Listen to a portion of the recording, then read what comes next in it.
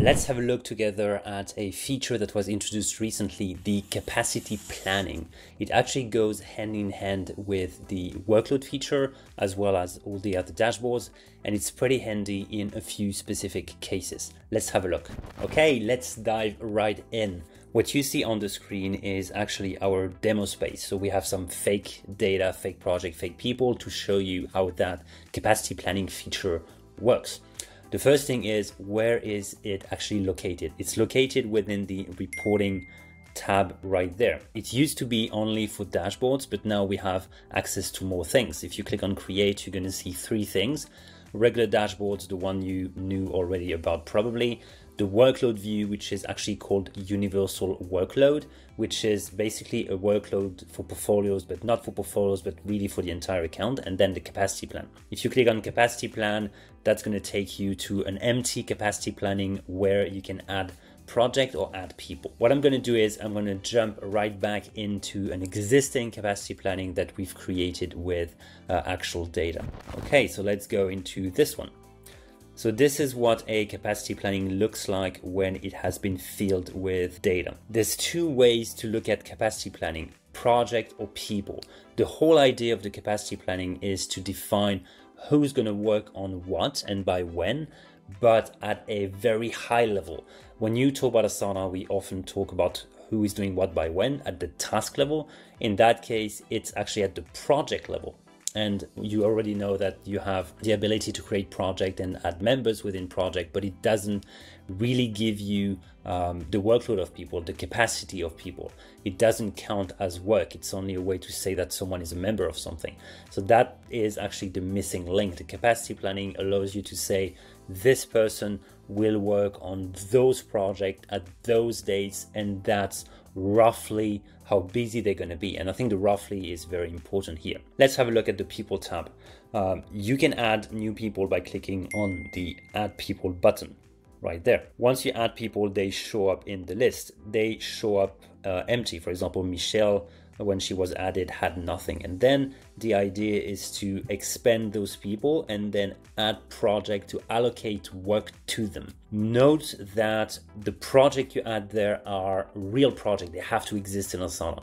They can definitely be shell project. That could be an Asana project that is completely empty. Uh, and sometimes when you forecast something uh, for the future, you don't have the tasks yet, it's too early. So you can really create that empty shell, click on add project to allocate and then search for something. Uh, the Paris one was already added, but like any project that you have uh, can be added, like AI roadmap, for example. Once you add a project, it adds a, a line within the capacity planning. And then the goal is to actually add those pieces. Those are called allocations. So you can basically say, based on time, how busy someone's going to be regarding this specific project. And there's two ways to say how busy they're going to be. You can give uh, hours or you can give percentage allocation. If you look at hours, it's uh, actually a custom field that you can define right there, like estimated uh, hours. That's the one. So right there, you can see how many hours uh, people are going to be working on those projects. So if you add a new slot right there, you can click and you can add like six hours and you can say that they're going to be working six hours on this project for this specific week. You can also toggle to project count. And that's interesting to see how many project people will handle at the same time within the same time frame and sometimes it's important because you have limitations within your team on how many projects you can handle. And sometimes you're so far away in the future like six months from now uh, you need to know how many projects that person will actually handle because it's still very early and you can already move things around and attach uh, those different projects to different people. So what you see right there is actually the sum of what is within and you can uh, get some details by uh, ho hovering uh, over uh, those segments. And you can also go into, sorry, that's the one, percent allocation. So in that case, uh, it's going to tell you how busy someone is based on a capacity because that's the only way to actually get something uh, to work in terms of uh, allocation. And the capacity is actually stored right there. It did capacity. That's where you can say how busy people can be overall, what's the maximum.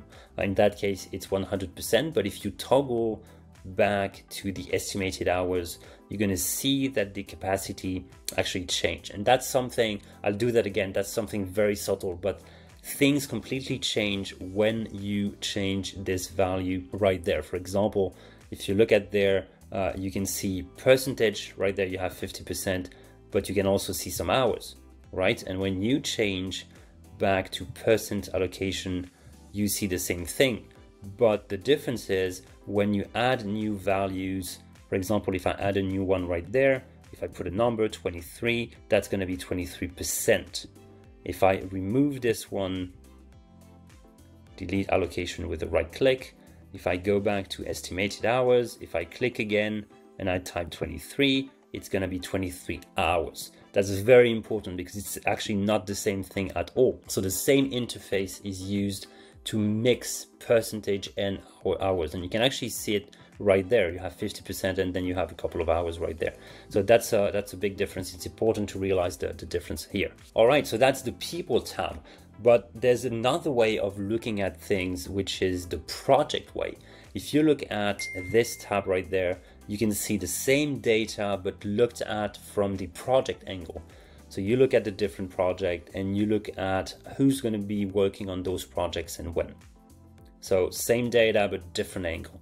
And again, you can add some specific people uh, to that list. And you can work from one or the other, or you can toggle between the two. That's not a problem at all. One last thing I wanted to share with you is very good news. Those uh, features are actually available within the Asana API. It's called allocations. That means you could use some external automation or script or code or whatever you're using to create those different slots of allocation. That could be quite handy, especially if you have many projects and many people involved. As you saw in this demo, the capacity planning does not replace the workload. It doesn't replace uh, any dashboard for that matter. It's really a dedicated tool to do some forecast planning with a big granularity around a project and people. Let us know if you want our team to record any other demos on any other specific features. See you around.